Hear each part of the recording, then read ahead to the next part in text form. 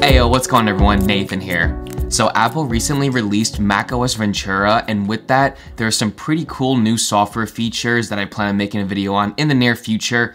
But there is one feature that I think is next level and I had to make a separate video for that and it is called Continuity Camera, which essentially allows you to use your iPhone's camera system as your webcam instead of the average cameras inside of the MacBook itself. So to actually make this new software work with your iPhone, you're gonna need one piece of hardware, and that's either gonna be some sort of mount for your iPhone or a tripod.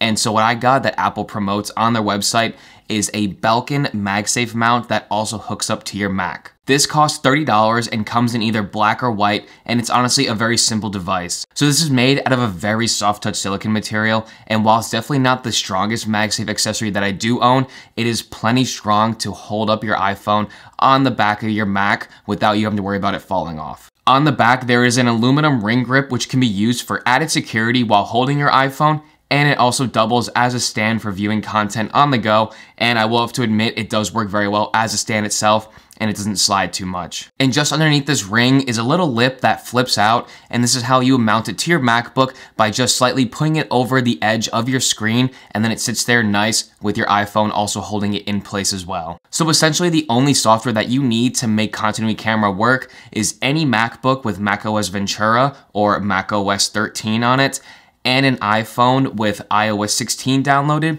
And then on your MacBook, you're just gonna wanna enable Wi-Fi and then you'll be smooth sailing from here. So to start using this, open up any application that uses your Mac's webcam. And for this example, I'll be using FaceTime, but Zoom, Skype, and any other application that uses your webcam will work with this as well. In the application, you will see the menu bar at the top left of your screen change to the specific application. Click here and go down to the camera section and switch from your Mac's camera to your iPhone's camera. Once you enable this, you will hear your iPhone make a little noise indicating that it is now switched over and then you should be all set up with your iPhone's camera from there. So as you can see from this example right here, the MacBook's webcam is decent, don't get me wrong, but the iPhone's camera is just so much better and it looks so much better for any sort of FaceTime or web conference calls. So also what's cool about using your iPhone's camera is that now you unlock different sort of video effects that you didn't have before. And for those, you're gonna go to the top right in the control center, click on video effects, and as you can see, you can turn on center stage, which crops in slightly,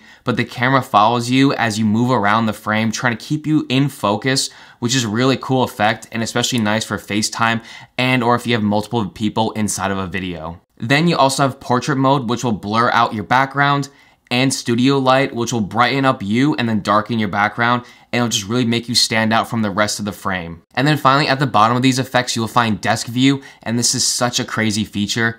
So essentially what this is doing is using your camera's wide angle lens and does a ton of AI and video processing to turn the edges of your video into a flat surface looking down at your hands. What's so crazy is you don't even have to angle your screen down to help out your iPhone. As you can see here, my screen is perfectly vertical, my iPhone's facing out towards me, and then you can still see the desk because of all this processing it's doing and it's such a cool feature. So by no means is this a perfect feature. As you can see, there's obviously some warping going on in the video, but if you're just trying to demonstrate something online or over a video call, this is plenty good and it saves you the hassle from having to like tilt your screen up and down or just having the ability to show your desk to the viewer is honestly a super useful feature, especially as more people are still working hybrid or completely remote in today's age. And then one last little feature that probably not many people know about is that you can use your iPhone's mics instead of your MacBook's mics as well. To do this, go to System Settings,